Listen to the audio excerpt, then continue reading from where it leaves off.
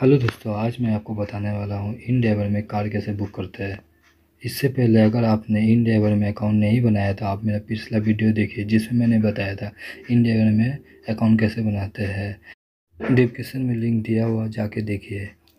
इन driver एक ऐसा apps है जिसमें आप खुद से भाड़ा चूज़ कर सकते हैं, आपको कहाँ जाना है और कितना पैसा में जाना है। तो चलिए वीडियो शुरू करते हैं। सबसे पहले आपको इन ड्राइवर ऐप को ओपन करना है।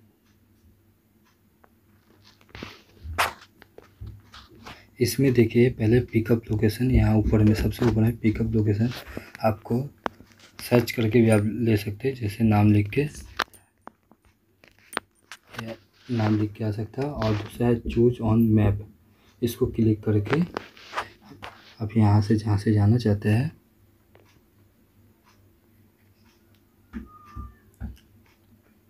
यहाँ पे ये टेंपल है एक। टेंपल के पास से मैं जाना चाहता हूँ। वहाँ से इसके बाद डन करना है। उसके बाद में ड्रॉप लोकेशन डेस्टिनेशन जो लिखा वहीं पे जहाँ पे आपको जाना है ड्रॉप लोकेशन वहाँ पे लिखना है। यहाँ पे लिखते हैं। देखिए हाजा रोड कर इसके बाद में यहाँ पे दिखा रहा है रिकमेंडेड फेयर दिया है, दो सौ पैंतालीस। और मैं अपने हिसाब से जितना मेरे को लगता है जाने में सही होगा, उतना मैं डालता हूँ, जैसे दो सौ डालता हूँ। डन करता हूँ। इसमें फाइन ए ड्राइवर क्लिक किया। यहाँ देखिए राइस टू दो सौ दस दिखा रहा है तो मैं उस पर क्लिक कर देता हूँ। अगर दो सौ दस में कोई जाना चाहेगा तो ये एक्सेप्ट करेगा, वो ड्राइवर अगर उसको नहीं जाना होगा तो वो अपना फेयर बताएगा।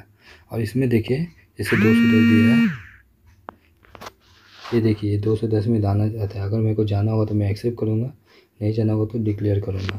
ठीक है, और नीचे जो दो सौ दस दिया,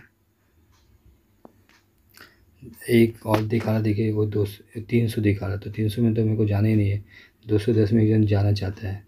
मैं चाहूँगा तो उससे जा सकता हूँ, नहीं तो नहीं भी जा सकता हूँ। मेरे को जिससे जाना है उससे जा सकता हूँ। देखिए, और एक दिखा रहा है दो सौ पचास।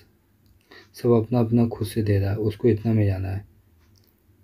अगर मेरे को जिससे पोसाएगा मैं उसी से जाऊँगा। तो देखिए कितना आसान है। अगर मैं एक्सेप्ट करता हूँ तो ये एक्सेप्ट हो जाएगा और मैं कैब आ जाएगा। तो बस आपको दिखाने के लिए मैं ये कर रहा था, इसलिए मैं ये एक्सेप्ट नहीं करता हूँ और डिक्लाइन हो जाता है, होने देता हूँ। तो दोस्तों, कैसा लगा आपको मेरा वीडियो अगर अच्छा लगे तो आप कमेंट शेयर ज़रूर करें। और मेरे वीडियो को लाइक करें। अगर आपको कुछ पूछना हो तो कमेंट ज़रूर करें। थैंक यू दोस्तों।